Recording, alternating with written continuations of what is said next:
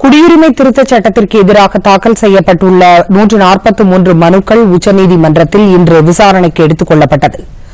இந்த மனுக்களை அரசியல் சாசன பெரிய அமர்வு விசாரணை செய்வதற்காக தலைமை நீதிபதி எஸ் ஏ பாப்டே தலைமையிலான அமர்வு பரிந்துரை செய்தது.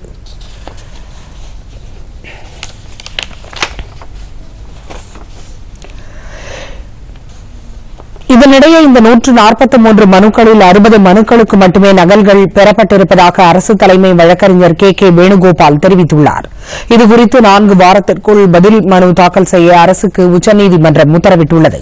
தாக்கல் செய்யப்பட்ட மனுக்களில் சில கோரியுள்ளது போல புதிதாக இயற்றப்பட்டுள்ள இந்த சட்டத்திற்கு இடைக்கால தடை விதிக்க உச்சநீதிமன்றம் மறுத்துவிட்டது. இந்த வழக்கு விசாரணையின் போது தலைமை நீதிபதி பாப்டே இப்போதைக்கு தற்காலிக பர்மிட்டுகளை வழங்கலாம் என்று மத்திய அரசை கேட்டுக் கொள்ளலாம் என குறிப்பிட்டார். முன்னதாக கடந்த பதினெட்டாம் தேதி நடைபெற்ற விசாரணையின் போது இந்த திருத்தச் சட்டத்திற்கு தடை விதிக்க உச்சநீதிமன்றம் மறுத்துவிட்டது. அத்துடன் இந்த மனுக்களுக்கு இரண்டு வாரங்களுக்குள் பதிலளிக்குமாறு மத்திய அரசுக்கு நோட்டீஸ் அனுப்பப்பட்டிருந்தது. காங்கிரஸ் மூத்த தலைவர் ஜெயராம் ரமேஷ் இந்திய கம்யூனிஸ்ட் கட்சி திமுக உள்ளிட்ட அரசியல் கட்சிகள் மற்றும் பல்வேறு தரப்பினர் இந்த மனுக்களை தாக்கல் செய்திருந்தனர்.